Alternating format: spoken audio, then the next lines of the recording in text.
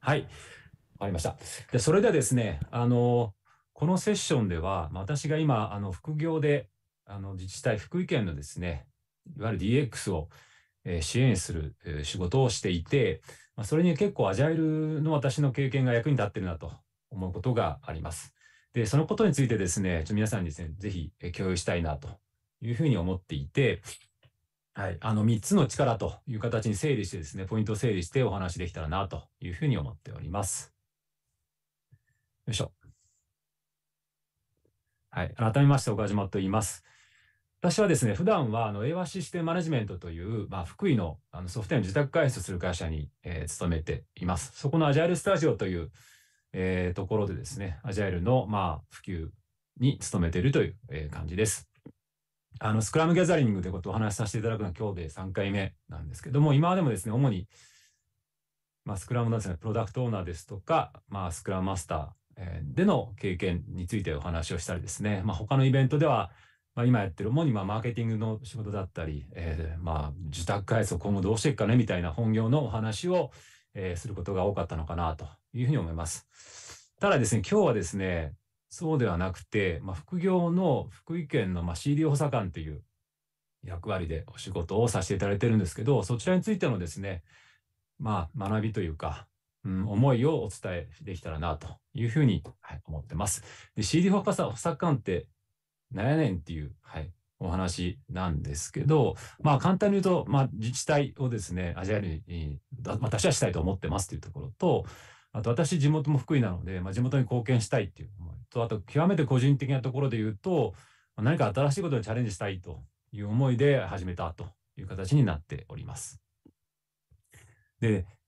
自治体をですね、副業で支援するどんな形なんですかというと、ちょっと背景をご説明するとですね、もともとあの福山市が元祖らしいんですけど、この副業兼業で自治体の仕事を支援するという動きがありますね。最近もどんどん盛んになっていて、福井県もですね、同様のモデルで、えっと、まあ、DX 人材っていうんですかね、を募集しているという経緯がありました。はい。で、コロナ禍になってリモートが OK になったとすごく大きくて、私もその、まあ、基本リモート前提で、大体月にですね、2日ぐらい、2、3日ぐらいって言われてるんですけど、の稼働をマックスにですね、まあ、副業をしているという形になっております。で、まあこれですね、どんな形でどうしたらなれるんですかって話なんですけど、あの、まあ、これ募集があって、それにプロポーザルを書いて申し込むっていう、まあ、まさにこのスクラムギャムさんにある程度似た感じで、はい、えー、やってます。あの、一次面接、二次面接みたいな書類と面接みたいな形があってですね、あのー、ビズリッチさんのサイトで申し込みがあったんですけど、そこで申し込みをして実際にオンラインで面談してという形で、はい、やってます。で、私のプロポーザルの最後の締めのセリフがですね、書いてある通りなんですけど、マジャイルとノーコード内製化で自分元カルチャーの第一歩やりましょうよみたいな形の勢いでですね、はい、アピールしたところですね、ピタッとうまいこと刺さってですね、まあ、採用に至ったという形になってます。結構倍率高くてですね、多分僕が人生で抜けた講師試験の一番高い倍率やったんじゃないかなと。百何十、180倍とかそんな感じの、はい、結果で倍率になって、だからすごく注目されている、はい、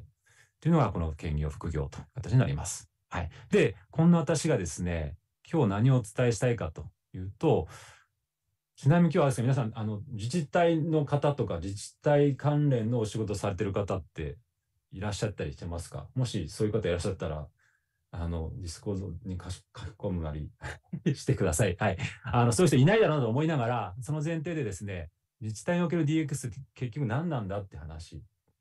あ、手を挙げられた方いらっしゃいますか？お、ですね。はい。で、実際どのような支援してるかとか、アジャイルの実務経験が具体的にどう役立ったのかっていうのを事例込みでですね、いろいろお話を、えー、させていただけたらなというふうに、はい、思ってます。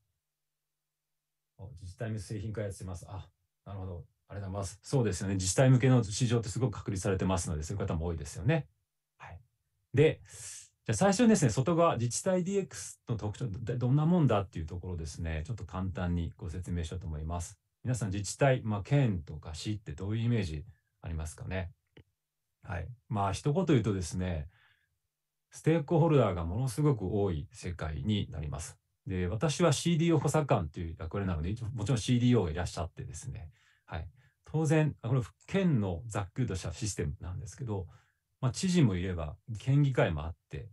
えー、総務省の意向というのもあります。あと、市町の、えー、支援もしなくちゃいけないし、あと、まあ、現場ですね、各部局があって、そのバックには、それを支援するベンダーさんもいらっしゃる。今、先ほどコメントいただいたですね、実際向けの製品ですね。はい、あります。で、私はですね、補佐官は、てっきり CDO とよく密接にやり取りするかと思ったら、実際始まったら違って、DX の推進家という人と今主に話をしながら、えー、やってるというふうな状況です。というようにですね、もうですね、自治体 DX はもう政策としてですね、すごく多くの関係者を巻き込んでいて、動き始めてますね。あのもう仕掛けが大きいです。はい。まあ、総務省もですね、大きな計画作ってますし、デルチャー庁とか経済産業省も絡んでます。はい。で、ただ自治体は主に総務省が見てるんで、あと福井県もですね、福井県独自の政策がきっちり動いていて、推進プログラム動いてます。あの三本柱に生活の DX、産業の DX、行政の DX ってあるんですけど、それをもとに、ちゃんともうね、デジタル化の DX のバックログが、みたいなものがあってですね、それごとに各部局が出し合って、一応推進するということをやっていて、もうすでに動き始めてますね。で、県、福井県の DX の状況どうやというとですね、あのー、結構ですね、ちゃんとアウトプット出始めてるなというのがあります。私が関わる前からなんですけど、あのー右側にあるやつですね、あの、福井県って雪が多いです。今日はすごく天気が最近全然降ってないんですけど、除雪の状況をリアルタイム見るとすごく、あの、命綱なんですけど、まあ、そういうサービスをさっと迅速に立ち上げたりとか、そういうことやってます。で、結果的に大都市圏に続く全国6位のデジタル化が進んでいる県だというふうにある調査では言われていて、かなりですね、あの、いい、うん、比較的ですね、アウトプット出始めてる DX 状況そうなんじゃないのかなというふうに思います。でただですね、まあ、私の問題意識というか、まあ、やってみたいことってどういうことかっていうと、まあ、アウトプットは出てます。はい。で、ただ制作なんですね。制作って終わっちゃうんですよね。はい。なので、まあ、5年とかそういう期間で制作やった時に終わった後に、ちゃんとこの変革の経験、体験がですね、ちゃんと後残るんだろうかというのをすごく私は、えー、気にしています。なので、あのこういう変化とか変革のあの火種といいますかね、まあ、遺伝子をですね私がいる間に組み込んでおきたいな組み込みたいなと思います。制作が終わっちゃった後でもちゃんとデジタルを使ってもっと良くしていくというふうなカルチャーとして継続するようになるといいなというのは私の問題意識で今、えー、取り組んでいます。でまあそんな状況でですね早速本題に入りますけど、まあ、どんなふうに攻略していくかというところですね。ここからですね、まあ、3つの力っていう順番順番ですね、事例を交えながらちょっと話をしていきたいなというふうに思います。まあ、さっき言った自治体はですね、まあ、システムです。大きなシステム、関係者が多くて複雑なつながりで大きなシステムです。まあ、大きな組織だと思ってもらえば当たり前なんですけど、じゃあ、その複雑なところをどう攻めていくかと。でまあ、最初の力ですね。はい。まあ、壺の探索力だと私は今名付けてます。はい。壺探索力。なんやねん壺って。あの、壺ってですね、要は壺ですね、押す壺なんですけど、まあこれはですね、まあ、一言で言うと、あのシステムの構造を見出してですね、あの介入レバレッジポイント、介入点をこうパッと掴む力。で掴むと言っても一発で掴めないですね。まあ、あの、壺を私はそうプロじゃないんですけど、実際私が受けていて思うのは、まあ、壺探す人もですね、あれ、一発ではなくて、こう順繰り、だんだんだんだんこう探り探り壺探しますよね、聞くポイント。多分それと同じで、壺を探す力ってすごく大切。これは実は私、まあ振り返ると、まあ、プロダクトオーナーとしての経験とか学びが生きてるんじゃないかと思います。まあ、PO ってやはりステークホルダー周りにたくさんいる中で、どうやってあの優先度決めて進めていってとあの、ポイント見極める力が必要になったと鍛えられたので、やっぱそこがポイントかなというふうに思っています。で、レバレッジポイントの話をしたんですけど、レバレッジポイント。はい。で、この言葉はですね、あまあ、いわゆるシステム思考で使われる言葉かなと思います。あの、世界がシステム動くという、ドナラ・ H・ メドウズさんの素晴らしい本が、はい、ありますよね。で、まあ、この本で、あの、レバレッジポイントの、まあ、一覧というか、あの、が書かれていて、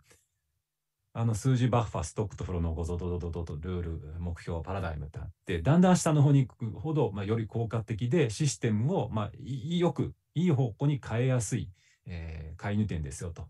いうふうなのが挙げられています。はい。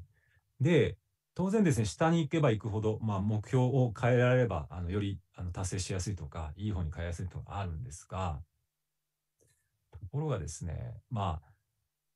自治体のシステムというかですね、あの、まあ、ややこしいというか、複雑で、私も入ってというか、こう、関わるなってですね、よくわからんとこも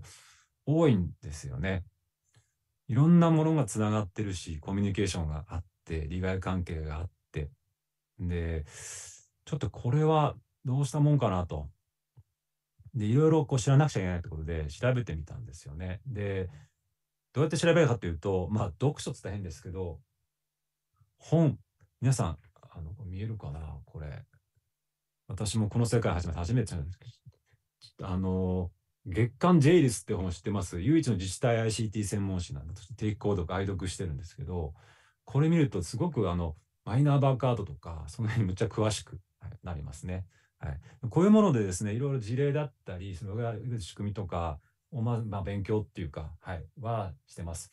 で、おかげでマイナーバーカードも私すっかり推進派にあの変わりましたので、はい、大切だなと思ってやってます。で、それだけじゃわかんないくて、まあ、職員の方といろいろと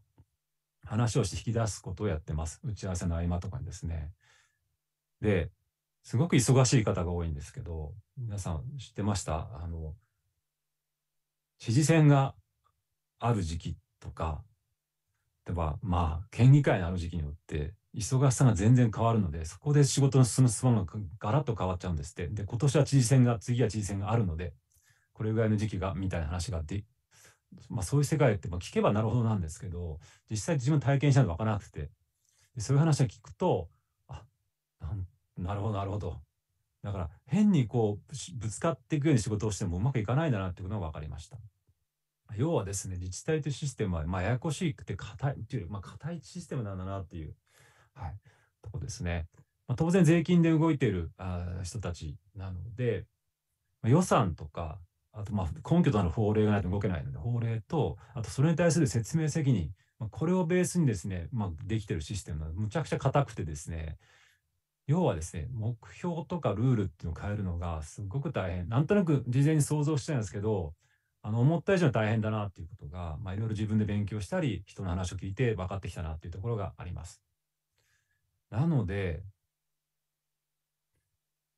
いたずらにぶつかってってもこれはダメだなというところで、まあ、注力する、フォーカスするポイントっていうのを決めなくちゃいけないというふうに思いました。はい。なので、先ほどのですね、レバレッジポイントを見ると、どの辺が一番効果的、なるべく一番下のレイヤーで、かつ自分ができるところっていうところで、今は情報の流れですね。ここにあのフォーカス注目して、これをいかに良くするかっていうところで、はい、考えてます。情報の流れを良くすることによって、まあ、ルールを変えることは難しいかもしれないですけど、あのより効果的な自己組織化を促すことができるんじゃないのかなという思いで、はい、やってます。ただですね、ちょっとあの一言言っておくと、あの今からこれですね、まず最初にフォーカスしてその通りずっとやるかって、まあ、いわゆるウォーターフォール的にやるんではなくて、こういう、えー、フォーカスするポイントっていうのもどんどんどんどん動き変わっていきます。はい。なので、今の段階でこうツボ探ってみると、この辺が効果的なので、ぎゅーっと、はい、押してる感じなんですけど、いろいろ状況によってですね、まあ、そのツボは変わっていくでしょうから、このツボの探索力っていうのは常に発揮する必要があって、最初に頑張るってもんではないのかなというふうに思います。で、まずですね、まあ、とはいえ、ある程度フォーカスポイントを決めて、じゃあ実際の仕事どんなふうなことをやってるかと、次に必要な力は何かというと、私は右腕力だというふうに思います。まあ、そんな力があるかどうかともかく、私は右腕力っていうことが一番ピンとくるなと思ってます。はい。まあ、そもそも補佐官って右腕だよねっていうのがあるっていうことと、あのまあ、これはやっぱ主にスクラムマスターとしての経験とか学びが生きてるなというふうに思います。今日この場でスクラムマスターの、まあ、経験者の方たくさんいらっしゃると思うんですけど、まあ、右腕っていうと割とピンとくるんじゃないのかなというふうに、はい、思います。ただですね、あのスクラムマスターと同じで、まあ、言いなりではダメで、まあ、PO だったり開発者の言いなりではないですよ。単に困りごとを解決ではなくて、自分の思いが必要だっていうのはすごくあの一緒だと思います。今、まあ、裏方として、まあ、サポートすると形になります。じゃあ具体的に右腕としてどんなことをしたの？ちょっと今からねいくつか事例的なことをお話ししようと思います。まず裏方とかスクラムマスター的な仕事として何が浮かぶかっていうと、そうですよね。ファシリテーターは浮かぶ人多いんじゃないかなと思います。これ私も、はい、やってます。はい。で、自治体であのどういう技術を身につけたいか DX でっていうと、実は BPMN っていうのが結構あるんですよね。プロセス、まあ、モデリングをして業務をという描くたいって話なんですけど、まあ、そういうものをですね、ワークショップとやろうかみたいな話があってですね、その時のファシリテーターっていうのも、はい、やってます。でお役所だから別にね、あの不あの不都合がある、硬いかなと思ったのは全然そうじゃなくて、オンラインのサービスでこういうふうにやりましょうよって話でも、あのちゃんとえー、やれたので、これはこれで良かったと思います。まあ、これも裏方として右腕としてですね、運営を支えたり、まあ、実際まあ教えることもするんですけど、まあ、ご提案したりとかっていうことをやってます。で、他にもですね、いろんなことやってて、一言で言うとアドバイザーになるのかわかんないですけど、何々審査員とか、何々評価員とか、なんとかワーキングみたいな仕事を、あたくさん、はい、やってきました。要はですね、あの、まあもう何でもやりますよと。知ってることは何でもやりますよというところで、まあ、ベストを尽くして、まあ、情報のを私がつかむ人もあるし、私がその情報を流すことで、さっき言った情報の流れをですね、作り出すことをやらなくちゃいけないというふうに思うので、まあ、どんなテーマでもやりました。DX での IT システム調達をとかですね、ベンダーの調達のうまいこれからやり方みたいなこともですね、一緒に考えたりとか、お話したり、講演したりとかっていうことも、はい、やってます。なので、情報の流れを作るために、まあ、何でもやりますということをやってました。で、これ私今、このやり方を、まあ、自分で戦中八作メソッドって名付けてるんですけど、戦中八作ってご存知ですか？あのー、有名なあれですよね。坂本龍馬がという、まあ、今では伝説っぽくなってるらしくて事実じゃないらしいんですけど、まあ、要は龍馬が国のためを思ってですね船の中でこれからこうだって案を自分がやらなくてもいいから誰かに託すために書いたっていうのが戦中八作という話ですよね。で、まあ、それ似てるなと思っていて、実際私もですね、あの、現場に直接関われないんですよね。月のうち1日2日しか関われないので。で、お話も全部オンラインで30分1時間しか話せない中で、どうやって最大限の効果出そうかっていうと、結局相談受けて自分の知見を、あの、本とか、こういうコミュニティで学んだことを、きっとこうじゃないですかねって話をやって、最終的にはもうあんまもう書いて、もう船の中でないですけど、もう文書で書いて、ま、もうあとはもうバンって、ま、託しますという形、はい、やってます。もうだその辺の感じがですね、龍馬っていうのは偉そうですけど、の感じに似てるのかなと思ってます。例えば、あの業務改善コンテストを県でやるんだけど、それをあのどうやったら流行りますかね？あの盛り上がりますかね？と相談を受けたときは、マーケティングの私の経験化して、例えばこういうことやったらいいんじゃないですか？とか、この手の本にはこういうふうに書いてあるので、ぜひ読んでみてくださいみたいなことを、まあ、口で言うだけじゃ足りないので、まあ、文章で書いて、あとは託すということを何回も、はい、やってきました。なので、まあ、直接関わらなくても、もう役に立つならいいやという思いです。はい。なので、あそうですね、コーチとチームの関わり方ってコメントいただきました。まあ、まさに多分そういう形なのかなというふうに思います。自分ではできない。はい。やりたくてもできないっていう感じに近いかもしれませんね。そういう形でやってます。で、まあそういうことで、あの、福井県のためにいろいろやってたんですけど、まあ、冒頭ね、私がプロポーズに書いた、マジャレ内製化で自分ごとカルチャーって勇ましいことを言ったんですけど、結構とはいえなかなかそれに遠いなと思ってたんですね、夏頃。で、ですね、その頃ですね、ちょうどあの夏頃ね、暑い時期にですね、あの、福井県の南の方にある高浜町っていう町からですね、あ、今写真写ってる高浜町なんですけど、すごい綺麗でしょ？あの、本当海が綺麗なとこなんです。から別で、まあ、うち、高浜町の DX も支援してくんないかみたいな、はい、依頼がありました。ということでですね、早速、現場に行ってきました。これ写真写ってますが、これすごいでしょう。あの、高級な旅館みたいな 建物、これ高浜町の役場なんですね。むちゃくちゃ綺麗な、はい、役場で、あのー、ここでもう現場に行きます。って形で、はい、あの、コロナ禍ではあったんですけど、行って、ちょっといろいろやってきます。で、高浜町のですね、課題って一言で何かっていうと、まあ、こんな感じなんですね。高浜町って、ま、町なので、県と違ってですね、あの、まあ、現場なんですね。で、今、自治体の基幹システム、まあ、いわ基幹の20システムと言われてるんですけど、その情報システムを標準化して、可能ならガバメントクラウドに移行しようという大きな計画が、はい、ああります。で、そのための標準使用書っていうのは BPML で書かれてたり、えー、するので、多分それの読み書きっていうスキルが必要になるというのが、はい、あります。あとですね、まあ、こういう小さな町、まあ、人手不足がマジで本気で深刻でですね、あの、業務効率化のために、もうペーパーレスだったりは、まあ、してるんですけど、もう内製化できればノーコード自分たちでやると。ベンダーに頼らず自分たちでやりたいっていうふうな課題があります。で、ただいろいろ話を聞くと、本当の思いっていうのは、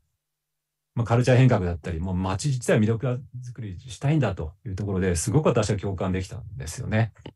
だから、まあ、ミニとして、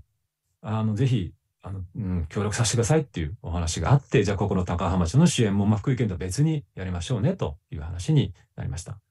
で、じゃあどんな風にですね、これ変えていくかというところで、もともとですね、もちろん、あの、高浜町の方の、まあ、計画はありますので、まあ、町の特性とか関係性を、あの、壺探索力を発揮して把握しながらですね、いろいろ、まあ、プランを、えー、作ってます。まあ、最終的にはですね、BPM とかノーコードっていう、まあ、個別具体的な技術を組織に文化として定着させなくちゃいけないので、まあ、学んで試して定着というような、まあ、よくあるといえばある形です。まあ、この図はすごくざっくりしてますけど、まあ、基本的にこういう考え方で進めていきませんかっていう話を。で、じゃあ、どんなふうにやりますかねと。具体的にですね、どんな感じでやれたっていうと、ちょっとしばらく事例のお話をしようと思うんですけど、あの、まあ、BPML のワークショップもやったんですけど、もうこれももう実際の業務を改善しましょうと言って、あの、死亡届っていう業務を、はい、もう実際にやってます。死亡届って何かっていうと、まあ、名前の通りですよね。あの死んでしまった時にですね、あの土日でもそういう起きうるので、その時に宿直宿の宿直の人がですね、ちゃんとそれを処理できるためのあの大切な仕事があるんですけど、それが今すごく大変なので、じゃあそれ改善しましょうかってことで、BPM で As is to be っていうのをやって、はい、やってます。ちゃんと部門横断でメンバーを選定してやってます。はい。で、ね、現場いいいですよね。今日も私行きたかったのは、なんでいいって、なんか五感を感じて、あの感じられるといいですよね。五感使ってサポートできるっていうのはいいと思います。はい。あとですね、バリューストームマッピングとかも、えー、やってます。あの、死亡届の業務に削る無駄はないか、動線はそれでいいのかみたいな話も、はい、皆さんとしながら、えー、やってますし。はい。あと、ノーコードですね。あの、実際ここではキントーンを、はい、使ってます。あの、キントーンはすごく私も真面目に使った初めてですけど、むちゃくちゃいいですよね。私もすごくファンになりました。自治体で使うノーコードとしては、まあ、キントンはすごくいいいいと、はい、思います。こういうものを使って実際に皆さんがあの作れるようなところも、はい、支援したりということもやってます。あと、情報の流れを良くするっていう意味だと、やっぱ振り返りとか看板とかの見える化ツールはやっぱり有効ですよね。こういうことやったことある方はやっぱりあんまりなかったです。こういうフォワードボード使って実際やったんですけど、こういうことやってる人は少なかったですけど、やっぱりやってみるとみんなすごく馴染みよくて、あ、わかるわかるっていう感じでですね、すごく皆さんしっくり、えー、してくれて嬉しかったと思います。で、はい。で、まあそういうことを、まあ、しながらですね、あの、まあ、現時点、1月時点でどんな感じかっていうと、色ついてるところなんですけど、まあ、死亡届については、実際に、あの、もう BPM の書いて、それに従ってマニュアルとかも改善して、もうですね、前長にこれで改善しますって言っちゃったらしいですね。だから、すごく、あの、自分たちどんどん進まるっていうんですかね、がすごく出てきましたね。で、ノーコードの方もですね、まあ、実は来週も私行くんですけども、あの、アルコールチェックを作ろうって決めて、もう、ね、半分ぐらい着手できる状況になったなと思います。まだまだちょっと時間かかると思うんですけど、だいぶですね、手応えっていうんですかね、機運っていうのはできてきたのかなというふうに思ってます。やっぱりですね、この機運っていうのはすごい大切で、まあ、自己組織化のある意味始めるかなと思うんですけど、まあ、私右腕としての感動ポイントとして、だんだん良くなってきて、あの、すごくですね、あのー、ここに書かれてるようなとか見えてきたんですよね。まあ、要は、あの、言われなくても宿題するってすごく大切で、はい。自分たちで復習したり、あの、予習したりっていうところと、あと振り返りしたりとか、あと、まあ、部門横断のチーム、COE チームを作ったりとか、あと計画もだんだん良くなってきたりとかでですね、すごくあの感動しているところが、はい、あります。で、なので、まあ、自分たちで、あの、本当に良くしていこうっていう気持ちをですね、すごく感じれるようになってきたというのが、あと私の本当嬉しいところですね。はい。で、まあ、これが8月、夏ぐらいに、スタートして、まあ、半年弱、あの、本当わずかな時間ですけど、かかりながらやってきてですね。で、高浜町で何回か行ってるんですけど、で、最後、今から3つ目の力の話をしますけど、あの、今写真に写ってるのが、高浜町の高浜町中交流館っていうコワーキングスペースですね。まあ、ここで出会ったある町の人との出会いでですね、気がついたのが、まあ、今から説明する3つ目の大きな大切な力に、はい、なってきます。何かっていうと、民間活力だと、はい、思いますね。まあ、まあ、民間の力ですね。で、要は、まあ、町の人の力を生かしたり、見習ったりっていうところと、まあ、自分がまあ、ある意味町の人として、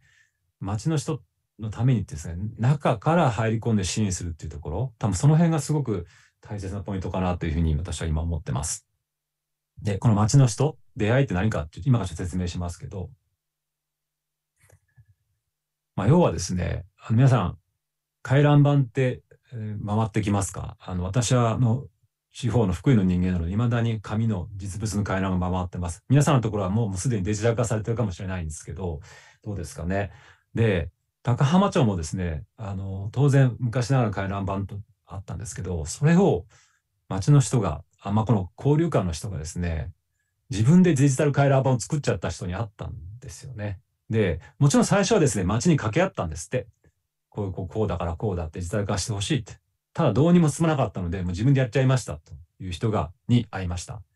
で仕組み自体はですね、すごい LINE と簡単なウェブページでできてるんですよね。自分でスキャンしてるんですよ、回覧を。それで、あの、もうデジタル化して、何がすごいって既成事実化されてるんですよ。まあ、街にも説明しちゃって。わ、これはやられたなというふうに思って、自分がですね、まあ、プロダクトオーナーだったり、新規事業やった時にデジタル開発版を作れ、DX よって言われた時に、さすがにアジャイル開発するだろうなとか、デザイン思考を使ってうんぬんだろうなって思って、まあ、いろいろ考えたんですけど、ここまでうまくあの成功させられないだろうな、正直あの自信をなくしたみたいな、はい、ところがありましたね。もう自分たちやっちゃった。で、それ結局誠実化さも早いっすよっていうところ。なるほど。これはですね、やっぱりニーズの力っていうか、まあ、当事者が中からですね、問題解決しちゃうっていうのは本当に、それに勝るものないなっていうのをすごく感じたんですよね。で、私もベンダーの人間だし、あの、普段自宅開発やってるので、どちら右側の丸なんですよね。外から、あの、ニーズを掴んで提案して解決していくっていうところでやってきたんですけど、もう左側のこれ浅野さんってすごい人なんですけど、自分で解決しちゃった。うん、スキャンってやっちゃった。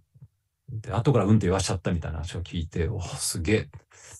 そんなこと思いつかなかったなって、もやっちゃうんだ。でもこれが中にいる強みだと思うんですね。まあ当事者の強みだと思いますよね。なので、思ったんですよ。やっぱ中に、右腕になるにしても中に入り込むってすっげえ大切だなというふうに思います。で、実はですね、さっきうまくいってるな、行き始めたって高浜町の DX 推進の方とか、さっき言った COE というあの部門を集まってるチームの人も民間出身の人が多かったんですよ。ある人はしばらく外で働いて戻ってきました。だし、ある人は企業から、まあ、出向じゃないのかな、あの委託を受けて、もう腹くくってずっともうこっち住んでますっていう人だったり、結構そういう人が何人かいてですね、あ、なるほど。まあ、自治体 DS 関わるっていろんな方法がある中で、まあ、民間を経験して入ってくる人も多いし、まあ、そういうところで力になれるっていうのは結構、はい、いんだ、意味あるんだなってすごく実感しました。だから町の人に自分がなるっていうことだったり、町の人のを参考にするってことですね。僕は高浜町の人間ではないんですけど、やっぱそういう思いでですね、やらないと、うん、もしかするとその情熱に負けてしまうのかなっていうふうにちょっと思っています。はい。ですね、私はですね、あの、この業界というか、今、エヴァシステムマネジメントの会社に入って、もう20何年かな、もうすごくたくさん、はい、経ってます。で、自分は技術者だった、まあ、技術者と思ってるんですけど、まあ、自分、これ自分自身の経験なんですけど、私はまあ SE、あの、あえて言います。システムエンジニアとして長くやってたし、今はマーケティングの仕事メインでやってます。あと、まあ、マネージャーというか役員もやってるので、まあ、そういうマネジメントもやってるんですけど、やっぱこうで培った経験っていうのを、やっぱ役に立てた立てるって思い、まあ、このモチベーションですね。これがすごくやっぱり大切で、あと外からも、ね、モチベーションってやっぱ与えづらくて、いかに中に入り込むかなんだなっていうのをすごく、はい、思いました。まあ、中に入るっていうのはですね、簡単でないかもしれませんけど、今だとまあ、副業とか兼業って形でそのチャンスがありますし、さっき言ったようにいろんな手段があるので、それもですね、今すごくやりやすくなってるなというふうに、はい、思ってます。でですね、やっぱりあの冒頭からですね、自治体って仕組みはややこしいんですよって話を、してました。実際ややこしいです。あの、硬いところもありますし、ただですね、中に入り込むことで、まあ僕は技術者だからこういうかあえてこういう書き方するんですけど、システムである以上は分析して、まあ実験検証改善っていうふうな PDCA みたいなものを回せるんだよなっていうふうにすごく、はい、思っています。あ、ちなみにこの絵はですね、あの、 Stable Diffusion ってあの AI で、えー、っと、ややこしい、 complicated city とかでやったら出てきた絵です。なんかそれっぽいもの出てきたんですね。ややこしい 感じになったと思うんですけど、多分そういうふうなあの一部だとしても、中に入り込めば変える力が、チャンスがあるんだな、と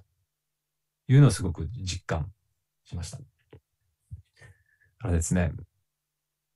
よいしょ。はい。ということで、あの、ここまでですね、バッと駆け足で、あの、自分、私の自治体におけるどういう補佐をしてるかっていうのを3つの力っていう切り口でですね、ご説明をしてき、ました。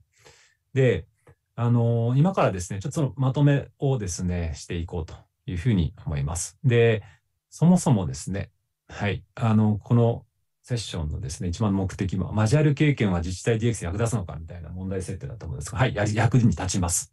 で今回はですね、スクラムギャザリングというところで、まあ、スクラムのロールでちょっと切り口を切ってみました。PO、スクラムマスター、まあ、開発者っていうところで切ってみたんですけど、あの、全部役立ちました。はい。私の目全部役立ってると、はい、思ってます。プロダクトオーナーの経験は、ステークホルダーの関係づくり、あの、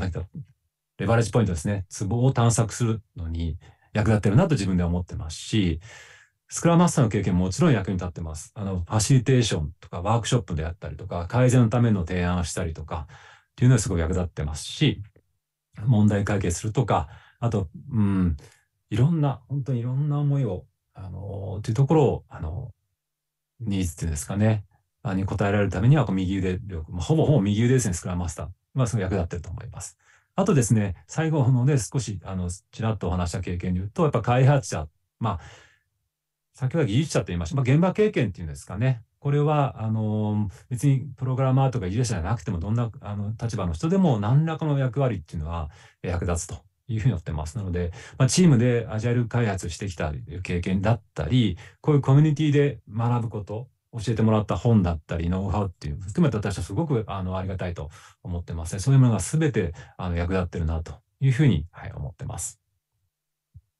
あとですね、情報の流れのところですね。で、もうこれは本当に、あの、すごい大切なポイントだと思います。で、今日はあくまで一私の個人の経験として情報の流れっていうところに注目してお話しましたので、すべての自治体とかがそうではないとは、はい、思います。ただですね、うん、やはり自治体に限らず大きな組織っていうのは、うん、ややこしい組織で限られた時間、リソースでですね、ガラッと変えるっていうのは、あの、無謀とは言いませんけど、なかなか大変です。なので、ツボを押しながら、いろいろ情報を集めてですね、あの、あれが流れる情報を増やすことによって、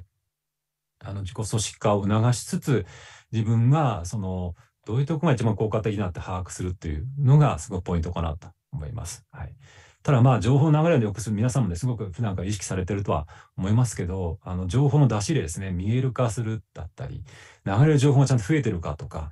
あの、関わる人が情報を自分で集め始めたかっていうところ、こすごくポイントかと思います。で、実はこのスライドを作った後に知ったことなんですけど、情報の流れのエピソードなんですけど、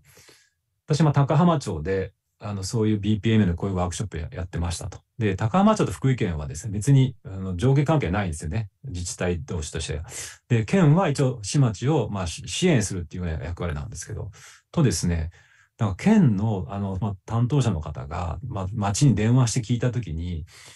まあ、高浜町実は岡島さんが来てこういうことこうこうやってるんですよ、みたいな話が流れるんですよね。そうすると、その県の人が聞いて、あ、なるほどな、そういうのあるんだ。じゃあ、今度、高浜町じゃ他の市町の人たち呼んで、そういう BPML の講演会ししようかな、みたいな話が、自分で考え始めたりとか。あとですね、そういうふうにどんどんこう情報が流れ出すっていうのが見えるんですよね。と、じゃあ他の施設、県って別にあの役所だけじゃなくて、いろんな外郭のそのいろんな組織があるので、水産試験場でも実はこういうふうな困りごとがあるらしくて、えー、あそこでやっている、あの高浜町でやってることが使えないからみたいなことの中で情報が回り始めるんですよね。広い自治体、まあ自治体ネットワークの中で。ということで、あの、私がその流れに乗っ、まあ、呼ばれてさらに支援するっていう流れがもしかすると今後もうちょっとあの加速できるんじゃないのかなっていう手応えをちょっと感じたりします。なので、ま、情報の流れに注目してそれをあの増やす、えー、と観察して見つめて考えて、えー、口出ししてするっていうところはすごく意味のあるんじゃないかなというふうに思ってます。はい。ただですね、注意点として、まあ、右腕としてあの頑張るのは大切なんですけど、主役はやっぱり自治体のあの職員の方々なので、依存されてしまってはいけないと思うんですよね。いつか私も、あるいは、えー、右腕の人はいなくなってしまいます。政策が終わると、多分私もいなくなるんじゃないかなと思いますし、まあ、それ以降もですね、ちゃんとあのその風土はなるべく残るようにですね、あの情報の流れがちゃんと滞ってないかなっていう確認しながら、やっぱゆっくり進める必要があるなと私は、はい、思ってます。ここはすごく大きな注意点かなというふうに、はい、思ってます。はい。あとですね、もう一つ。はい。あの、今日はですね、お話の、まあ、流れ上ですね、最初に、まあ、県の大きな話をして、高浜町の話をして、あの、あたかも県は大きくてすごい大変だけど、高浜町はちっちゃくていい感じになってるみたいなふうに受け取った人もいらっしゃるかもしれません。まあ、そうではなくて、あの、やっぱあくまで、あの、ツボは違うだけなんですよね。よしあしじゃなくて、まあ、組織のトポロジーに応じて、振る舞いっていう考え方を変える必要はあるなと思います。で私は思うのは、まあ、福井県の仕事をやってるときはすごく思うのは、自分がすごいサービスとかファンクションのようなイメージになってるんですよね。だから船中八策メソッドとそういうことで、必要な時に呼び出してもらって、船の中でなんか書くわ、みたいな感じの イメージなんですけど、今、 stateless で、まあ、複数コンテキストの中な私がいつられて支援するようなイメージをすごく、はい、持ってます。よしあしじゃなくて。で、一方ですね、高浜町でやってる時は、すごい stateful で、まあ、コンテキストを共有してちっちゃな目標を達成する。なんかそんな感じでやってます。で、これ別に良し悪しじゃなくて、やっぱツボとかシステムのあの構造が違う、えー、だけなので、まあ、聞くポイントが違うんだろうな。流れる情報の質とか量が違うんだろうなというふうに、はい、思ってます。では先ほど言ったようにですね、あの、県でも、あの、そういう他の施設で、あの、私がやってるような、そのの伴走型のことをちょっとやれないかって考えられるようになってきたということは、あの、県でもこういう密結合な仕事、やり方っていうのでできるはずですし、はい。なので、やっぱここはあくまでツボなので探索しながらいいところをもっと探していけば、はい、いいんじゃないかなというふうに思ってます。ここが注意点ですね。はい。で最後にですね、あの、まあ、民間活用がもっと必要ということで、今日私実は一番訴えたかったことは、まあ、この辺なんですけど、あの、アジャイルの経験者の方の、まあ、スキルとかマインドセットというのは自治体にもすごく役立つと私は個人的に思ってます。なので、あと、全国でものすごくたくさん今 DX の人材が必要されてます。はい。副業でもね、十分成果が発揮できると思います。私は月に2日、もう実質働いてないんですけど、あ、細切れですね。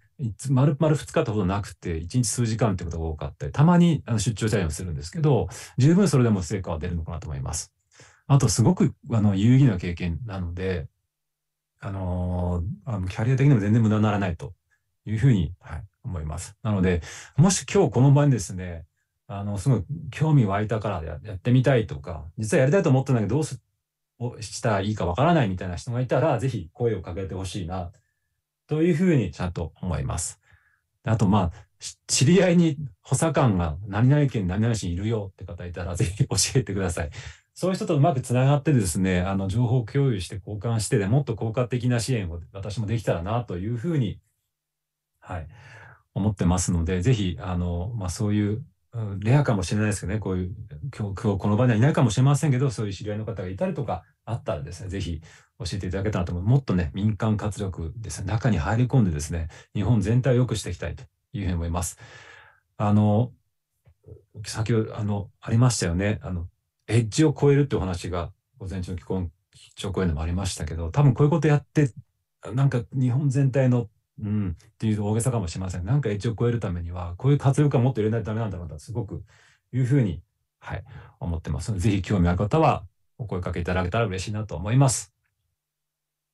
はい。で最後にこれ僕も大概のあの発表で言ってるんですけど、まあ、組織を変えていくときのためにですね、私はミトコンドリアになりたいなと思ってます。ミトコンドリアって知ってますか？あの、もともとですね、その体の中に生物の中に入ってるんですけど、もともとは違う生物だったらしいですよね。だから遺伝子が違うんですよ。ただですね、一体となって働いていて、そのミトコンドリアの主な仕事はですね、あの、エネルギーの供給する仕事なんですけど、一方ですね、自殺、細胞を自死させるための、要はアポトーシスのための機能を持ってるんですよね。まあ、これは僕あの組織をですね新陳代謝してよくしていくためのすごい重要な力だと思っているので私は自分自身がミトコンドリアになれるといいなというふうに思っていていろんなところで同じことを言ってます。で自治体でも同じだと思っていてあの政策終わった後でもですね自治体自身がいいように変化まあ進化できるようにあの頑張っていきたいなというふうに、はい、思ってますのでもし何かですねあのそういうあの皆さんきっかけになったら嬉しいなと思います。はい。ということでですね、今日の発表は以上になります。ありがとうございました。何か質問ある方はぜひお願いいたします。はい、岡島さんありがとうございます。えっとまだあと数分、2、3分ですかね、あるようなんですが、質問を受けていただいたりとかも大丈夫ですか？えーと、現地の方で質問ある方いらっしゃったら、前のマイクまでお願いします。で、オンラインの方で、えーと、質問ある方は、えーと、音声開けて話してみてください。いかがでしょうか？はい。ちょっとしたことでも何でも、はい。聞いてください。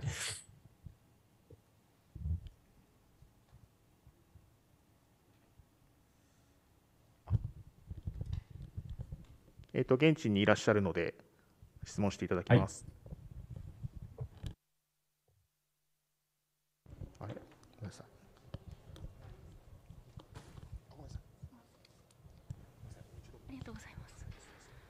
と信頼が大切だという話が印象に残ったんですけれども、はい、私以前地域おこし協力隊として勤めておりましてでその中でやっぱ DX を推進するために地域おこし協力隊を使いたいというあの自治体が多かったように思えるんですけれどその時にその信頼貯金を得るために最低1年ぐらいはどうしてもいろんなところに話しに行ったりとか自分の業務と直接関係ないところに行ったりっていうのが絶対に発生してしまってそこでモチベーションを失ってしまってその3年間持たなかったという方によく、あのお話聞いたりしたんですけどそういう方に向けてなんかアドバイスみたいなものがあったら教えてほしいです。あありがとうございます。あれですかねその本来の目的と違うような、えー、ことっていうんですかねを信頼やるためにやることがかえってモチベーションを低下させてしまったとそういうお話よろしかったですかね？はい。あ、はい、そうですね。あの結構あのそういうケースは多いかとはい思います。つまり目的を明確に持たれてれば持たれているほどあのついでに使われてしまうことっていう苦しさっていうかですねあのにあのは難しいのかと思います。はい、で私のあの、まあ、アドバイスは変ですけどやっぱオプションを増やすというかですねやっぱこういうふうな私の、まあ、副業もそうですしその方の仕事もそうだと思うんですけどモチベーションだったりそのがすごい駆動ですよね。言われてやってることじゃなくて自分でやりたいと思ってやってること。なので私の場合の福井県の高浜町の場合はそうだったんですけど福井県の中でやってるどうしてもファンクションとしての仕事が多くてそれはそれでまあやるにやるし別にああのだったんですけど、まあ、自分でやっぱりあの他にチャンスはないかとかオプションは取れないかってやっぱ自分でこう探したなと思います。だから積極的にそういう、まあ、営業ではないですけど自分を活躍できる場所ないですか？っていうのはそこは確かにいろいろと